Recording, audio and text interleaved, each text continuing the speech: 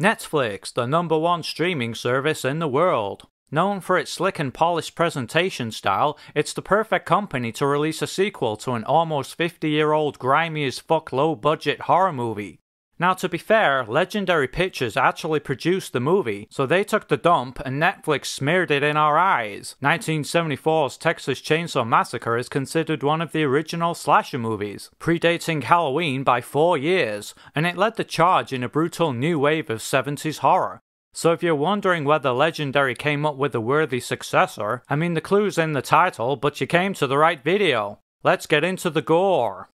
Leatherface is at large. Sally Hardesty, the sole survivor from the original, has been hunting him for 50 years, and doing a terrible job apparently. Meanwhile, the new cast arrives in a small deserted town, and the movie's dumb plot is revealed. Two chefs want to buy the town and turn it into some sort of snowflake haven, but unfortunately, one of the town's inhabitants didn't get the memo, and after the young influencers lay into her, she has a heart attack. Leatherface is apparently not a threat now, and goes with his ground to the hospital, but she dies en route, so he kills the driver in rage, causing a crash.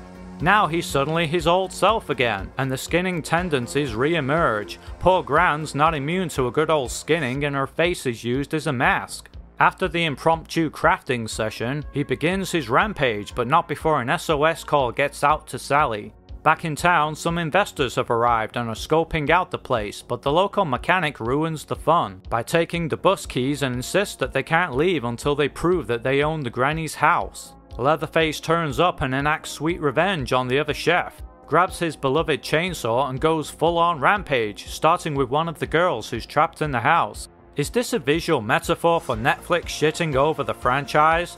I'll let you decide. Anyway, she escapes with her sister to the bus where naturally the other investors are partying, and nobody notices that she literally stinks of raw shit. And after a cringe as fuck joke about cancelling Leatherface, Try anything you cancel, bro. he slaughters them all, but the two sisters get away. Get him, Leatherface!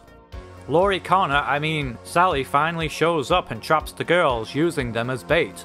She then finds Leatherface, who's just hanging out, and what does she do? Absolutely nothing. Leatherface just casually walks past her and goes after the girls. But then Sally decides she does want to do something after all, but then gets killed. The tragic end of an epic character. The sisters then try a bit of Grand Theft Auto, but Leatherface stops them, and one gets trapped in the car. Before he can make the kill, Sally injures him, and I- What the fuck? I thought she was dead! Anyway, to cut a boring ending short, they just rip off Terminator 2, and Curly Hair pops up to give Leatherface his chainsaw back. As he slowly sinks to a watery grave, he lets out one last dying fart. A fitting end, no doubt.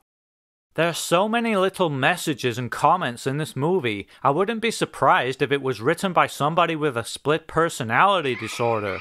I mean, not even five minutes in, and we're bombarded with so many social statements. It's the movie equivalent of an 18 year old SJW jumping up and down and shouting in your face. Gun victims versus pro gun activists. Electric cars versus petrol cars. Racist police. Or are they? Confederate flags are offensive. And on and on and on. I've mentioned previously that horror is often at its best when making some sort of underlying commentary or broader statement, but here it's just commentary for commentary's sake. The movie feels like a fucking Twitter feed filled with a mishmash of opinions from a bunch of fucknuts chirping in with whatever's on their agenda that particular day. There's no coherent voice to see any kind of vision through, and it never commits to anything it's saying and often contradicts itself. For example, one of the main characters is the survivor of a shooting, and it shows the trauma she's been through. Powerful stuff. But then she learns to handle a gun and uses one to hunt down Leatherface. I honestly don't know if the movie is pro gun, anti gun, or just showing both sides of the argument and sitting on the fence. Another message towards the end of the movie is for the same girl to face her fears, and I thought it could have been a cool moment because it works on two levels her past gun trauma and the current threat from Leatherface. But then moments later, it's all undone anyway as Leatherface chops her sister's head off, and now she's just living in fear again, more fucked up than she was before. The electric car versus petrol car was a dumb little statement, but surely they're siding with electric cars. What, with going out of the way to show the pollution?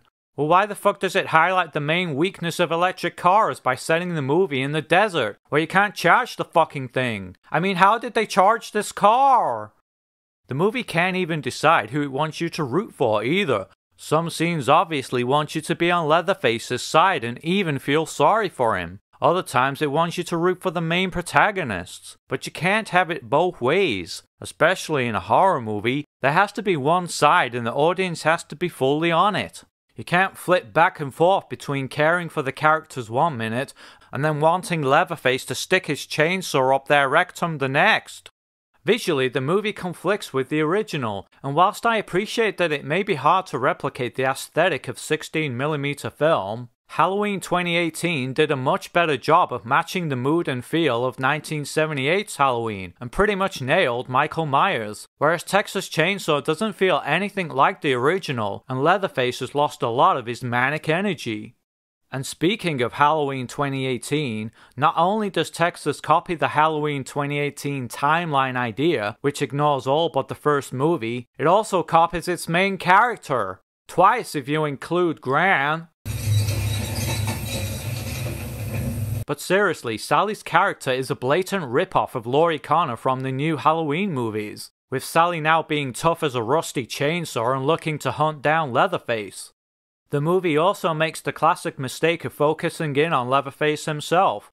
Unlike Michael Myers, Jason Voorhees, or Freddy Krueger, Leatherface was never the central killer. He had a larger family, and that's one of the strengths of the original. Without his fucked up family, a huge chunk of the dynamic is missing. But they didn't give a fuck. They just saw that the new Halloweens were making bank and lazily copied the same setup. Most of the Sawyer family survived the first movie, so why not use them? Hell, even Granddad has more charisma than most of this cast. They could have done an interesting reverse where Sally is actually stalking and killing the family members instead, with a final showdown against Leatherface. But despite all the fuck ups, there's actually small flashes of originality in some of the scenes, like where the girl kicks the mirror to the side to show where Leatherface is hiding. Visually, the chainsaw through the floor is pretty cool. It sort of reminds me of Jaws' shark fin cutting through the water. And throwing the chainsaw around to incapacitate people is a nice touch, and it makes up for Leatherface's lack of agility. Gore wise, things are pretty good too. There's some nice gore effects and some cool kills, although two of them are totally backwards. This girl gets stabbed once in the stomach and dies instantly. Sally basically gets finished Mortal Kombat style. Finish her! Fatality. Leatherface wins. And fucking pops back to life minutes later. There's also a few good ideas scattered around the crap, like the empty town. It could have been really creepy and tense, but the movie doesn't make best use of it. It might have been better to have all the kids run off the bus and then Leatherface can stalk them around the town instead. Although it was ripping off Halloween, Sally being consumed with revenge could have worked out well, but the movie crams in all this shit about buying old buildings and influencers instead, and Sally as a character is left not even half baked. She's just raw fucking dough. The shooting survivor is interesting too, but not really an idea suited to a Texas Chainsaw movie, which just goes back to my original point that the movie's just a Twitter feed of random voices with no clear direction. And ironically, a post credit scene teases a much more intriguing movie. 2022 is looking to be a great year for horror, with some of the genre's biggest franchises coming back. There's Scream, Halloween Ends, possibly Hellraiser, and even a Jeepers Creepers reboot. But after this shit, I'm pretty demoralized already. You know movies are really struggling when you get Terminator 2 scenes repurposed in a Texas Chainsaw movie. I mean, what the fuck? Netflix, more like Rectflix. I got a ton more of these stupid jokes, but I'll see you in the next video, Gorehounds.